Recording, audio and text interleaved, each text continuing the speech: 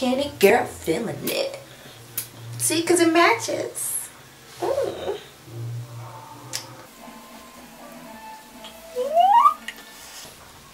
Hey guys, what is going on? Welcome back to my channel. It's your girl Kandi and today we are going to be doing this nice lovely orangey fall pumpkin kind of look. I wanted to keep this look really kind of like a soft fall like glam as far as the eyes go and then when we got to the lips I was pretty surprised on two lipsticks as their color payout was really intense Anywho, I'm gonna stop rambling on and let's just go ahead and jump into this thing, guys.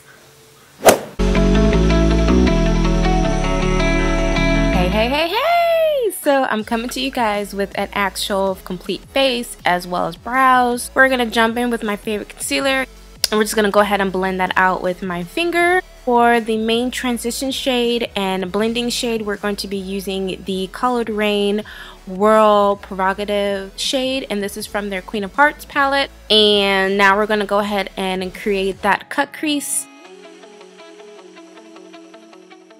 And we're going to be using the palette Born to Run from Urban Decay. And within that palette, we're first going to go into the shade called Accelerate. And we're going to press that all over the entire lid here.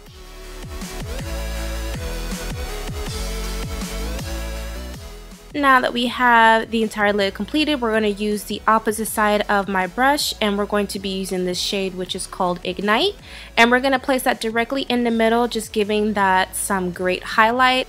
And now with that same brush, we're going to go ahead and just blend out the outer corner with the same transition shade. And now that that is done, we're going to go in now, use my favorite mascara. This is the Bad Gal Bang mascara from Benefit Cosmetics. And then we're going to be using this pencil. This is from NYX and this is called Life's a Beach. And we're going to go ahead and just place that on my lower lash line. And I apologize I forgot to get a shot of this, but we're going to be using the orange shade in the palette. This is Baja. And we're going to basically smoke out that bottom line. And then we're going to blend everything again with that same transition shade from Color Raine. Once everything has been blended out, we're going to use the mascara again to define my lashes. And then we're actually going to pop on some Balm ass lashes. Y'all already know I use these ones a lot. These are my fave. This is Bast from Goddess Collection. And to clear up that band, we're going to be using the Wet n Wild H2O waterproof eyeliner in the shade Black.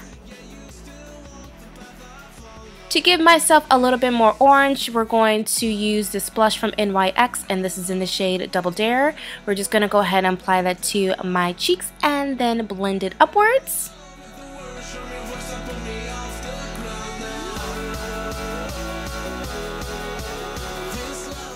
And now for the final portion, we're going to go in with the lips. We're first using this shade here. This is from ColourPop and this is their ultra matte lip. This is in the shade what the stitch.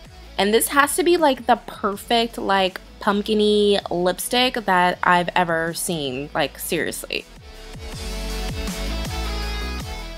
and now to give my lips a intense version of this color. It's this very glossy and I won this in a competition so this is um, from Buxom this is their Va-Va Plump Shiny Liquid Lipstick and this is in the shade Heat Wave.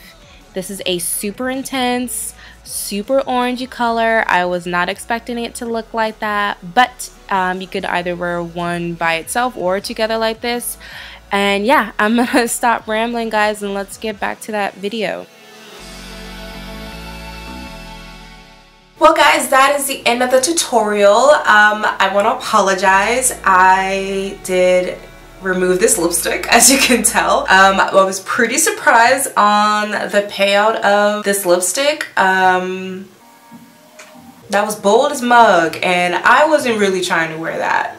So off camera, I went ahead and removed that. So like normal when I do my ombre lips that you guys see me in many of my tutorials, um, I use the MAC Cosmetic lip pencil in the shade um, Chestnut. I used two of the orange lipsticks, ColourPop one, and then I also mixed it in with the Smashbox. I know you guys see me use this in one of my hauls I did like a while ago. But yeah, it actually did help out with the payout as far as the orange goes. So I'm sorry I didn't show you. I didn't really think about it until after I was doing I was like, I probably should have filmed it. So that's my bad my bad. But besides that, how did you like the tutorial? I hope it was simple quick for you guys. I really wanted to keep it like super fall but like you still got that pop like mm-hmm. Anyway you guys let me know how you feel about this look.